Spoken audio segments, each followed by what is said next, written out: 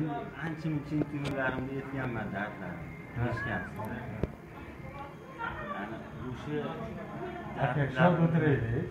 Aytolmayman baribir yo'q bilaman просто bu yoqda kam shod ana qarang zo'r. Nima? Anavi anavini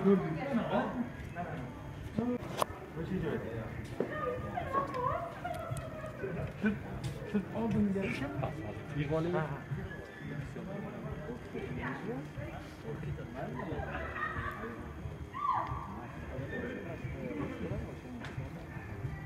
bunaqa shu borsak ham bo'ladi to'g'rimi?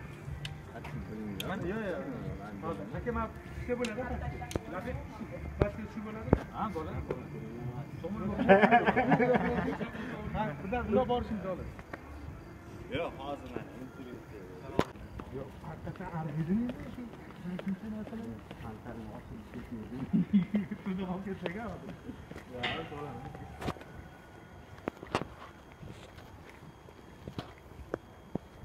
mana nihoyat yana topdik. Topdik. Tepaga chiqamiz aka nimaga bo'ldi Yo'q, man bo'ladi, yo'q yo'q mana birinchi marta fantani ichidan kirib olyapmiz xullas e, azizlar hozir judayam ko'p muxlislar so'rayapti. E, judayam ko'p kinochilar ya'niki soha vakillari so'rashmoqda. Alisher uzoq nima uchun zo'rchilikdan ketdi? E, shunga bir oydinlik kiritish uchun bugun mana jasmin ya'ni eski shaharni video klip suratga olish jarayoni ekan sizni bu yoqdaligingizni bildik qanaqadir bir ijodiy hamkorligingiz bor ekan bular bilan shunga oydinlik kiritish uchun qanaqadir bir katta bir loyiha ustida turgan ekansiz u loyihani nimaligini bilish uchun keluvdim to'g'risi shunga bir oydinlik kiritsak manimcha yaxshi bo'ladi yo'q yo'q yo'q bu loyiha haqida hozir man endi to'g'risi e, keng qamrovda hech narsa deyolmayman Hmm, nima? Chunki vaqt hali bor. Degan oldin chang chiqarmaylikda endi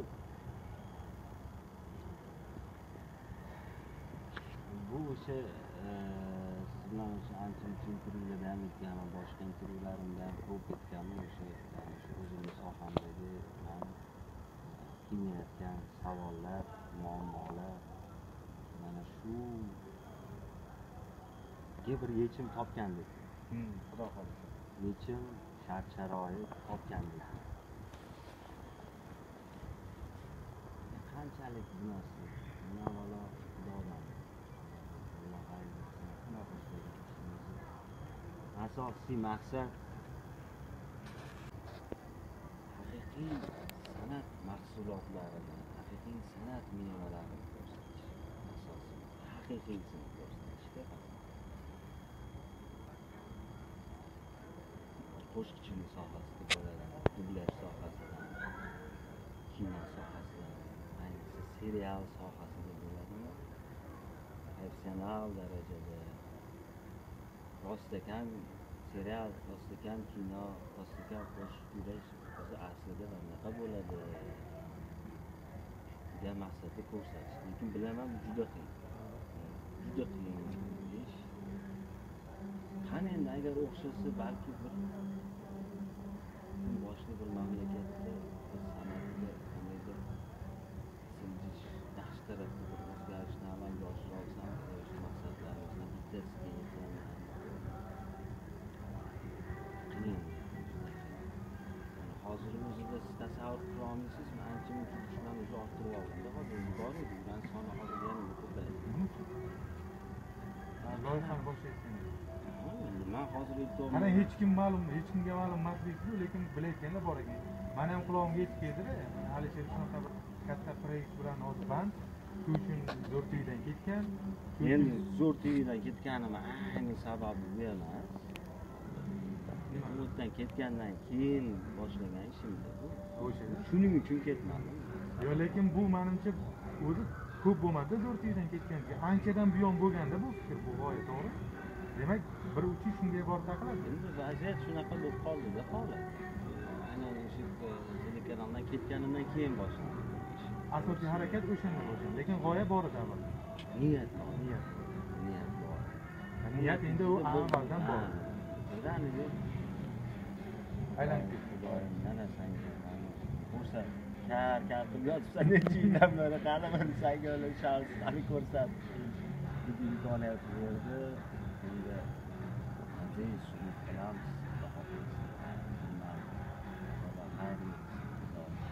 xalqimiz boda bo'lib tursin ancha muncha muxlislarimiz xudoga shukur man endi man to'g'risi muxlislik aytolmayman muxlislari doimiy erish tuyuladi o'zimga lekin bir gap aytishimki shu bizani ijodimizni ozgina bo'lsa ham hurmat qilib ko'p savollar beriladi qani kinolaringiz qani seriallaringiz qani dublyajlaringiz qani qo'shiqlar qanday savolni bo'ladi.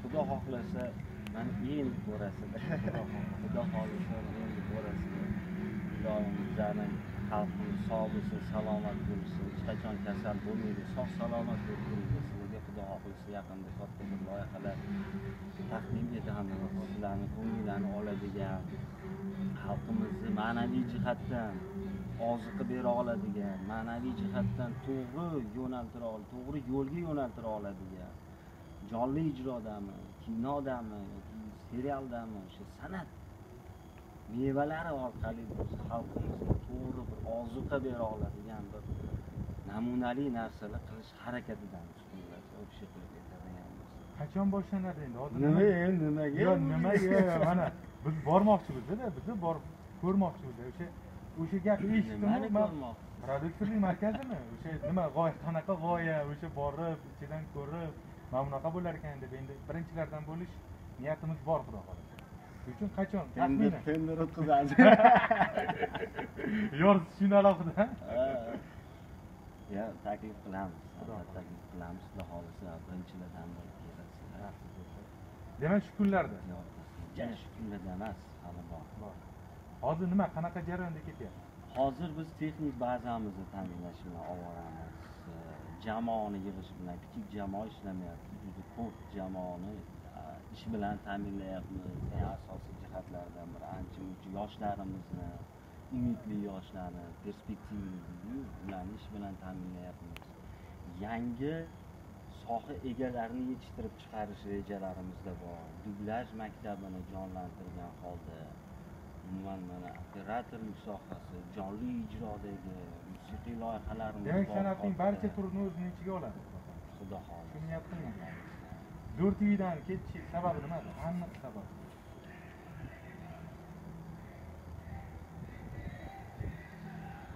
Mani tushunishim. Kim? Rahbariyat har doim zo'r ma'qul zo'r tv aniq aniq tushunishmadi yetishmadi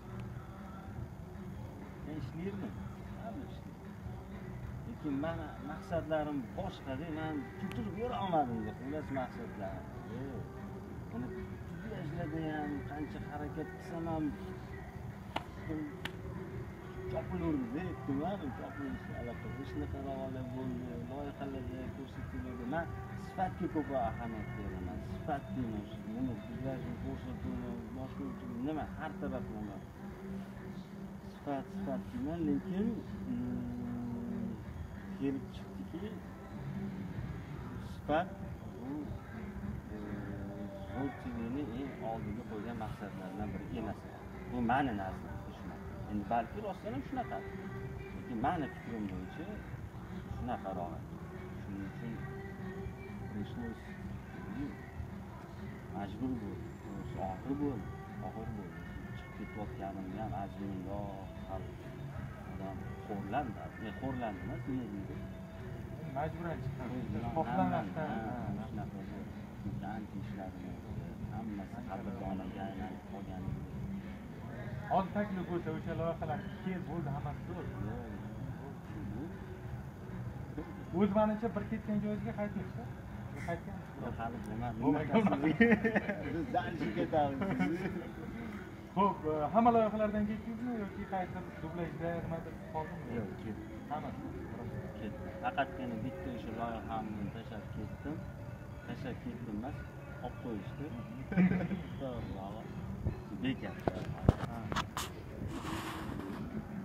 Men olib qo'yishdi ham buyonmayman endi Loyiha muallifmanman bari endi bir og'iz aytilmadi oldindan o'tilmadiyu bekat bormizda deyilmadi shu narsa manga hech anaqa emas to'g'ri man hammaligingizni yaxshi ko'raman Ha, sirdoshlik bilan albatta man misol uchun mayli mani oldimdan o'tishmagan bo'lsa ham man ularga undan ham ko'p berishga tayyorman. To'g'ri yana g'oyalar boshqa narsa so'rashsa ham berishga tayyorman. Manimcha bundan keyin ham hamkorliklari davom etsa kerak. Xudo xohlasa albatta albatta yoki o'zlari o'zlari telekanal ochib olmasaydi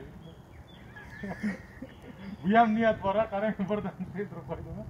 O'ldirib qo'ydi endi bunaqa ham niyat bo'lishi mumkin. Hali bilmaysiz bilmaymanku balkim telekanal qilayotgandir shular to'g'ri. Ya bu har xil gap yuribdida har xil. Lekin o'sha ijodiy jarayon bilan bog'liq baribir matematikaga oid madriximika yoki tibbiyotga oid. Yo shu mendelyev jadvalni boshqatdan ko'rib chiqolmoq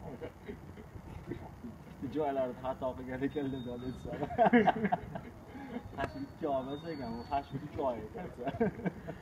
Tushunarli tushunarli rahmat kattakon salomat bo'ling.